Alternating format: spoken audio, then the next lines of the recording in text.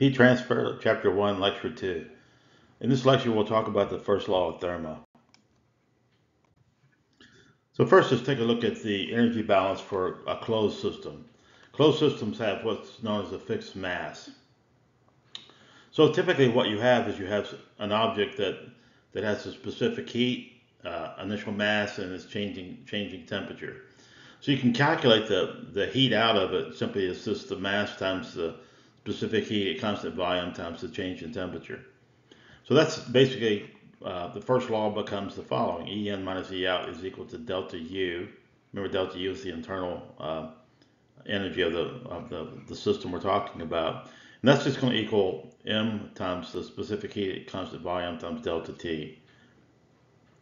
Now, since stationary systems do no work, then you know this simply becomes Q equals mCV delta T.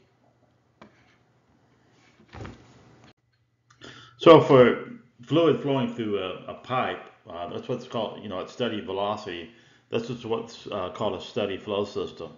So two terms we need to be familiar with. One is what's called the mass flow rate. The mass flow rate is given by the density times the cross-sectional area times the velocity. Now here we kind of have to be careful because we, you know, later on here we're going to, this big V is going to be a volume flow rate. So uh, our book uh, unfortunately kind of messes some of these formulas up. So I've tried to be more clear than, than he has in, in a few cases here. So m dot is the mass flow rate. It'd be measured in kilograms per second. So you have the density times the area times the velocity. And if you multiply these out, uh, the units turn out to be kilograms per second. Now, if we want the volume flow rate, that's the uh, v, big V dot. So the units here is going to be cubic meters per second. So that's the velocity times the cross-sectional area.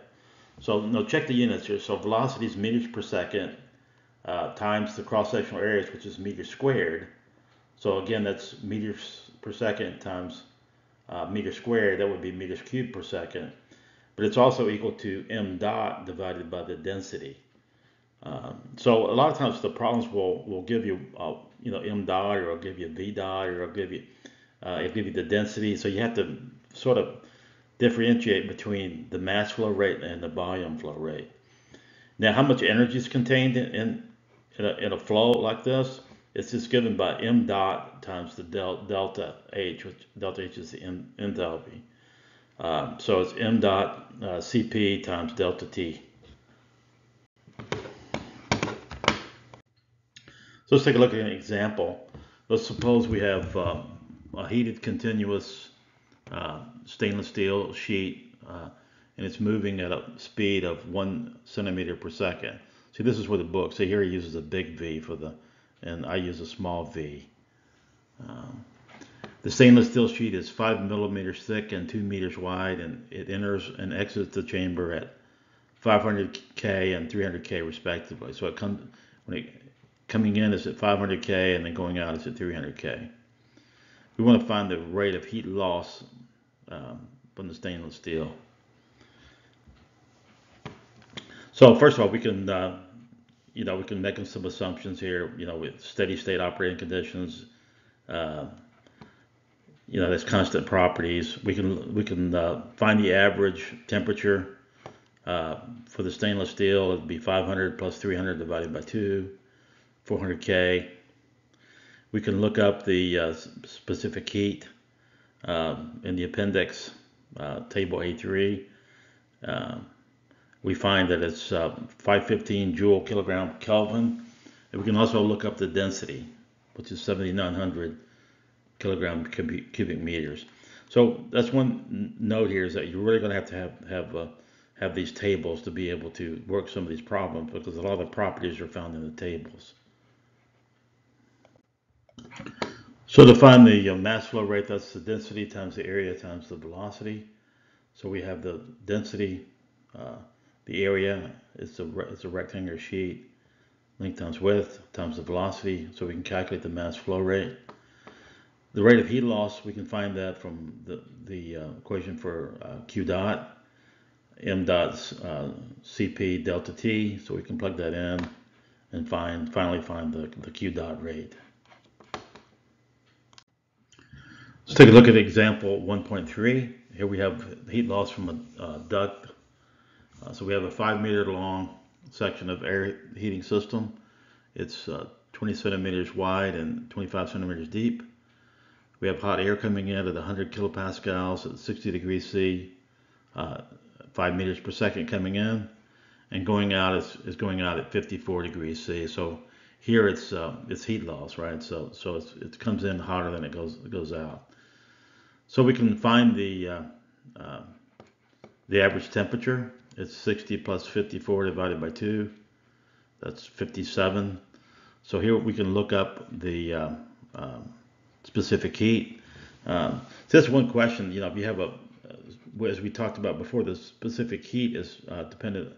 Uh, it's a function of temperature. So which which do you use? Do you use 60 when you go into the table, or do you use 54? Well, you could use either, but probably the best way is just to take the average and, and go into the table at 57 degrees C and then look up the, uh, the specific heat for that at constant pressure. So we can find Q dot, that's uh, M dot Cp delta T. So this is what we want to calculate. Uh, but to, to, be able to do that, we have to find a, a few things first. We can find the density uh, because we have the uh, of the inlet because we have the pressure of the inlet. Uh, R is our our uh, our value for our, our, our gas constant, and then the temperature of the inlet is 60 degrees. Remember, we have to convert that to Kelvin. So the density coming in is 1.046 kilogram per cubic meter. The cross-sectional area of the, the duct, we know what that is. It's just a rectangular duct. So finally, we can calculate the mass flow rate. It's the density times the velocity times the area. So we got the density from the previous slide. The velocity is given and the area we calculated. So we can find m dot. And then finally, we can find the, uh, the heat loss, mc delta T. So here, uh, you know, we have, we've calculated uh, uh how much um, heat loss it is in uh, kilojoules per second. But if we want to calculate how much money we're losing, you know, uh, we can convert that to kilojoules per hour because that's what that's what we're given. We're given the cost per kilowatt hour. So we can, the cost is going to be the rate of heat loss, which we just calculated here, times the unit cost per, per therm. Uh, well, a therm is, uh, is given by 105, 500 kilojoules, and this is a number that you can find in the, the front of your book.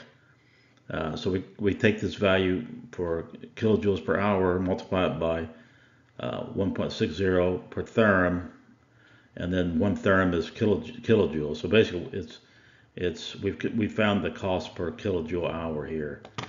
Um, the first efficiency that's given to be 80%, so that's point that's point eight.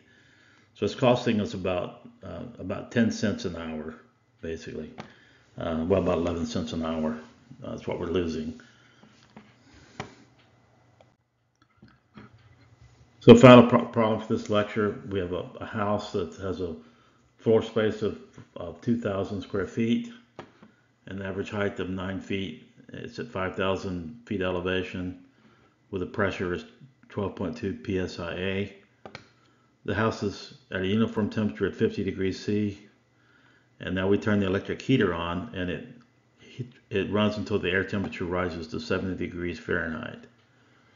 We want to determine the amount of energy transferred to the air, assuming the house is airtight and thus no air escapes during the heating process.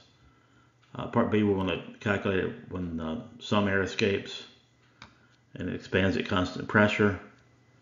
And finally, we want to determine the cost if the electricity is 0.075 cents per kilowatt hour.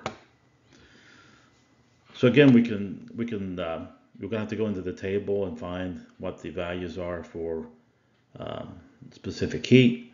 So we'll take the um, 50 plus 70 divided by 2 and we'll go into the table at 60 degrees Fahrenheit and find the specific heat at constant pressure. Uh, we can also find CV. Uh, that's equal to Cp minus R, so we can actually calculate what that is. And here's the tables. I encourage you to go look those values up for yourself. So the volume is the floor area divided by the height, so we can calculate that. We can use the gas law to find the mass, uh, PV over RT. Uh, remember, T here has got to be in uh, absolute, so that's Rankine. So we have to add 460 to the 50 to, to get it to Rankine. So the amount of energy we'll, uh, that's transferred is going to be calculated by mCV delta T. Um, so M, M we calculated here. Um, the CV we looked up, and delta T is our difference between where we started and where we finished. So we end up with 3,974 BTU. So how much does that cost us? Well, it's just the amount of energy times the cost per, per unit. Uh, so we know how much we used, 0.075 kilowatt uh, cents per kilowatt hour, but we have to find what it is in BTU because that's, you know, so we have to convert from kilowatt hour to BTU. So when you do the calculation, you get about about nine cents uh, is what it's going to be. So part B wants to do it at constant pressure. So in that case, we're dealing with the, uh, the enthalpy. So what changes? Uh, the mass stays the same. The temperature is the same. The only difference is uh, the, the, we're using CP instead of CV. So in that case, it's going to be a lot higher. You can see it's it's about uh, 12, a little over 12 cents to uh, to heat it up there in the second case there. Okay, so that's the end of this lecture. I encourage you to get started in the problems and, and uh, start working a few problems. If you have any questions, uh, you can email me uh, or uh, uh, and I'll be glad to help you give some hints on some of the problems.